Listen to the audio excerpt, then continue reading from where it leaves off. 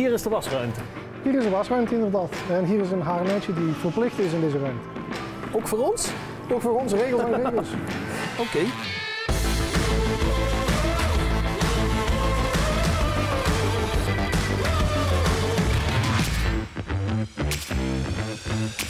Welkom bij Made in Helmond. Mijn naam is Joop Vos en ik ben vandaag de gast bij Buvo Castings. Een bedrijf dat van alles doet met aluminium. We gaan kijken wat. Kom op! Hi, welkom bij Buvo. Nou, en wat doet Buvo? Buvo is een eh, aluminium hoge drukgieterij. Dus wij maken hier eh, op basis van aluminium heel veel eh, producten die vervolgens naar, de, naar de eindproducten gaan. Nou, ik zie dat je er klaar voor bent. Je, kan, je kan de fabriek in. Maar ik stel wel voor dat ik daar mijn collega Frans even voor bel. Want Frans die loopt hier al 40 jaar in allerlei rollen rond. En die weet echt alles van Buvo. Dus ik wens je heel veel plezier. Hallo Frans, Hallo, waar zijn we hier? we zijn hier in eh, onze afdeling eh, Expeditie en Magazijn. En hier hebben we de opslag van eh, onder andere onderhande werkproducten die, eh, die op- afgewerkt zijn of nog deels bewerkt moeten worden. Ons bakmateriaal wat wij binnenkrijgen is eigenlijk gerecycled materiaal. Een groot, groot bedrijf die haalt overal restaluminium op, aluminiumafval wat van uit automotoren of wat dan ook komt. Die smelten dat, die reinigen dat, die vormen dat samen in een goede legering, in een goede samenstelling. Die gieten deze broodjes daarvan en wij smelten ze weer opnieuw en maken daar weer nieuwe producten van. En uiteindelijk worden die producten, komen die weer terug in dit proces. Dus het is een onbeperkte recycling van aluminium.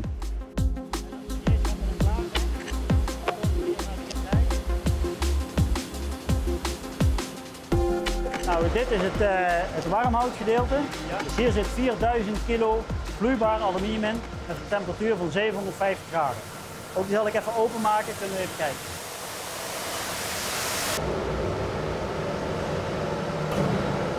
Frans, en hier komt het aluminium er uiteindelijk uit. Ja, we zetten hier een pan onder. Die oven die kunnen we leeg kantelen helemaal. Dat gaat in een pan, transportpan. En met die transportpan brengen we het naar de diverse machines toe. We hebben hier een oven waar vloeibaar aluminium in zit. Die trechter daar die zuigt het aluminium in een vacuümtrechter van keramisch materiaal. En die transporteert het naar de gietmachine. In de gietmachine gebeurt alles achter gesloten deuren. En veiligheidsoverwegingen. Ehm, en op die machine hangt een matrijs op. Bij deze machine met een sluitkracht van 660 ton. Met een stang persen we dat in de matrijs. De producten die komen er uiteindelijk hieruit. Die gaan via het trilbandje om eventueel vervuiling eraf te halen in een trommel. In die trommel zitten keramische stenen. Die draaien door middel van een onderlandsmotor rond in die richting en in die richting. Worden alle producten helemaal ontbraamd. Als ze dan ontbraamd zijn, dan komen ze eruit. Dan worden ze gedroogd met warme lucht. En uiteindelijk hebben we hier een gereed product, waardoor de operator nog een keer visueel gecontroleerd wordt en in de gitterbox naar de klant toe eh, verpakt wordt. Dus een Mercedes vrachtwagen heeft links en rechts twee digitale spiegels. Er zijn dit onderdelen van. Hey, en deze worden gegoten, maar die worden in matrijzen gegoten, toch? Ja. Maar waar worden die dan gemaakt? Matrijzen worden gemaakt in onze gereedschapmakerij. Daar doen wij ook het matrijs ontwikkelen, doen we de matrijzen maken en uiteindelijk hier gieten. Mag ik die ook zien? Tuurlijk mag je die gieten. Ja. Het interessante en het leuke bij Buvo is dat wij een totaal eh, leverancier zijn. En dat hebben wij het liefst dat een klant bij ons komt met een product dat hij zegt van nou wij willen dit graag in hoge druk gegoten hebben. Dan gaan wij dat product bekijken, eventueel aanpassingen aan het product doen. Dan doen wij de gereedschap ontwikkelen. Eh, dat doen we samen met een groep van alle disciplines binnen Buvo. Dus zowel mensen uit de gieterij als nabewerking als constructeur. Op het moment dat we dat concept klaar hebben, dan eh, gaan we daar simulaties mee doen en kijken of dat het gietbaar is, of dat mogelijk is. Als dat klaar is, dan gaan we naar de gereedschapmakerij. Dan worden de gereedschappen gemaakt. Wordt, eh, uit staal, blokken staal worden gereedschappen gemaakt. Als dat gereedschap klaar is, gaat het naar de gieterij. In de gieterij gieten wij daar producten van. En na het gieten wordt een product nog bewerkt. Maar het kan ook eventueel een montage zijn of wat dan ook. Maar een totaalconcept leveren wij aan onze klant. En dat is ook het leuke voor mensen die hier komen om dit te zien. Je ziet het van het begin, ontwikkeling, tot het eindconcept dat het product helemaal kant en klaar is. En voor het bewerken moeten we naar de overkant.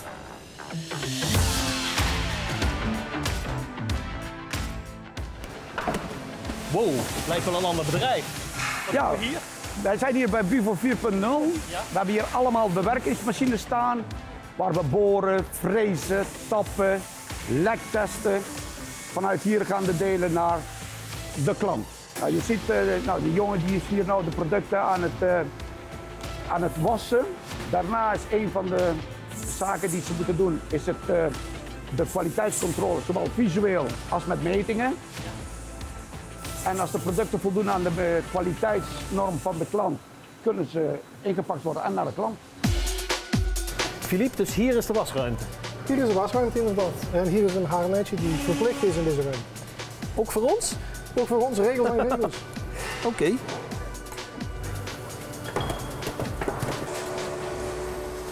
En nou is het de laatste stap, Philippe. Ja, dus nu gaan we de producten wassen en inpakken. Dat zal de laatste stap zijn. De producten, dit is een, weer een product voor een auto, die in de auto-industrie wordt gebruikt. En dit product heeft soms eh, olieresten achter die schoon moeten worden gemaakt. De klant heeft bepaalde reinheidseisen aan ons eh, gesteld. En we moeten dus de producten al gaan wassen en ervoor zorgen dat zij perfect voor de klant zijn. Dit is onze cleanroom, dus hier mo- moeten de producten ingepakt worden. Kunnen we geen vervuiling of iets tegelijks hebben. Eh, en we zien nou dat een operator komt met schone producten eh, naar buiten. Philippe, wat maakt Buvo voor jou een speciaal bedrijf? Wel veel verschillende dingen, maar uiteindelijk uh, samenwerken met de mensen is uitstekend. Uitdagingen zijn fantastisch. Eh, mogelijkheden om te groeien is ook, is ook een, een, een, hele positieve punt. Eh, dus uiteindelijk heb ik hier wel 15 jaar met heel veel plezier gewerkt.